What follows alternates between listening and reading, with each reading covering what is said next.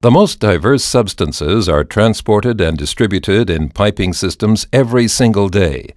They may include drinking water, fruit juices, chemicals, or even slurries containing stones.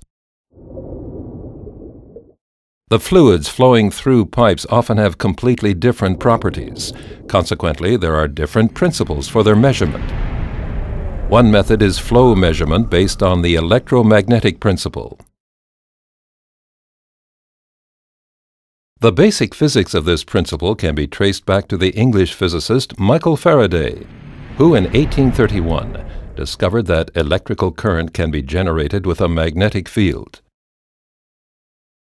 Roughly 100 years later, the Swiss inventor and priest Father Bonaventura Thürlemann applied this knowledge to electrically conductive liquids flowing in pipes and built the world's first electromagnetic flow meter. Let's take a closer look at how this measurement method works. Two field coils are located inside each electromagnetic flow meter. With the help of what are termed pole shoes, these coils generate a constant magnetic field over the entire cross-section of the measuring tube. Two electrodes which can pick up electrical voltages are installed at a right angle in the wall of the tube. The lining fitted on the inside wall prevents electrical short circuits between the conductive liquid and the metallic tube. If there is no liquid flow, no induced electrical voltage is measured at first between the two electrodes. The electrically charged particles of the conductive liquid are evenly distributed, shown here in water with red and blue particles. However, as soon as the liquid starts to flow in the measuring tube, the magnetic field applies a force to the charged particles. As a result, the positively and negatively charged particles in the liquid are separated and collect on the opposite sides of the tube wall. Now an electrical voltage forms, which is detected and measured by the two electrodes.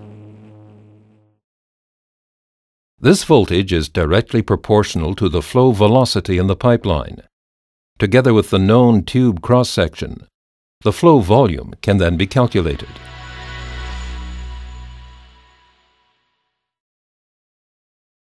The greater the flow velocity, and thus the separation of the charged particles, the greater the electrical voltage between the electrodes. The electrodes also detect what is called interference voltage, which has to be separated from the actual measuring signal. One method that has been successfully used for this purpose is to create the magnetic field with a pulsed direct current. To do so, the polarity of the magnetic field is alternately reversed, illustrated here in slow motion. The voltage picked up on the measuring electrodes now constantly changes in polarity.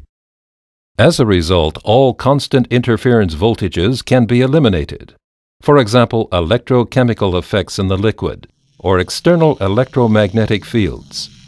Thus, the size of such interference voltages has no impact whatsoever on the actual measuring signal. The advantages of this are a stable measurement and a stable system zero point. With an installed base of over 1 million electromagnetic flow meters, Endress and Hauser has stood for flow expertise and superb product quality for over 30 years. In other words, high accuracy, easy installation, and absolute reliability. For all applications, we have the right solution. Endress and Hauser, your single source supplier for measurement technology.